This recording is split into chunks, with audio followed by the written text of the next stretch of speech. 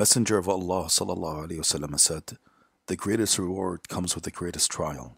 When Allah loves a people, He tests them. Whoever accepts that wins His pleasure, but whoever is discontent with that earns His wrath. It is from the ways of Allah to test His believing slaves. These tests can come in the form of something good or something that seems bad or difficult. When there is good, then the person should be grateful to Allah and not be impressed with his achievements. And when there is difficulty, then he should be patient and not be down and depressed or thinking bad about Allah. Whatever tests people go through, it is suitable for them and it is good for them. There are different levels of purification and upgrade for the slaves through these tests. Tanqiyah is purification, which is similar to surface cleaning. This mainly refers to being cleared from sins.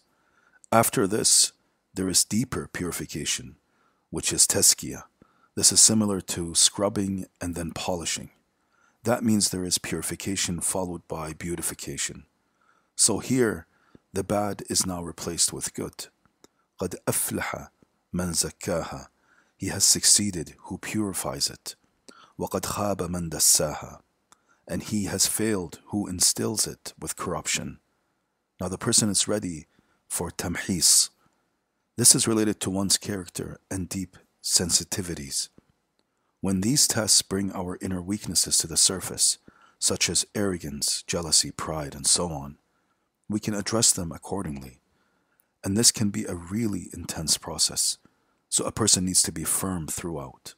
وَلِيُمَحِّصَ اللَّهُ الَّذِينَ آمَنُوا And that Allah may purify the believers through trials. The last stage is tarbiyah.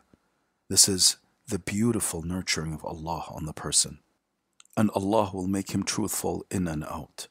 He will bring out the inner jewels that are hidden inside the person. At this stage, he is well behaved and displays the best manners. Something that is made from sand now becomes suitable for paradise.